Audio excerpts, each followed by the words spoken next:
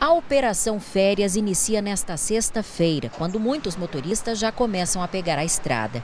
Uma das orientações dos policiais é checar a documentação do veículo e a validade da carteira de habilitação. Muita gente não se atenta para a data de vencimento. Até pelo longo prazo que tem de renovação, agora para a idade que a gente já está é um pouco mais reduzida, mas quando é mais jovem parece que o prazo é um pouco mais dilatado. E, e com certeza pode acontecer de vencer e a pessoa não saber.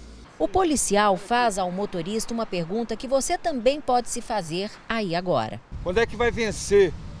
Qual o tempo de validade da sua 2021. carteira? 2021. O mês. O mês eu não sei. Esquece. E aí?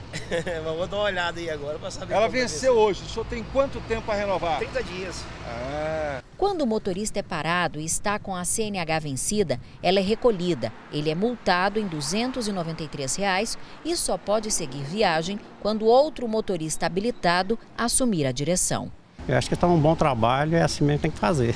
Se o documento do carro CRLV não estiver em dia com IPVA e licenciamento pagos, o veículo vai direto para o pátio e só pode sair depois de regularizado. O motorista também é multado em 293 reais. Vencer o documento tem que pagar, né? Então você está sempre atento a isso. Sempre atento.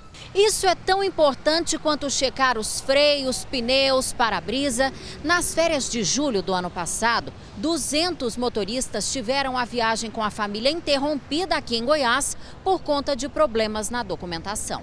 Nós não temos nos nossos postos acomodação para essas pessoas. Imagine você com um idoso, com uma criança de colo.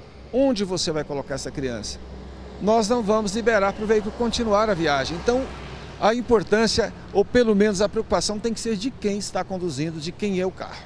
Outra informação para a segurança de todos na estrada é ter em mente o número de telefone da PRF para qualquer emergência. Se o cidadão, ao longo da sua viagem, perceber qualquer irregularidade, precisar de uma informação de auxílio, é entrar em contato com a polícia através do telefone 191.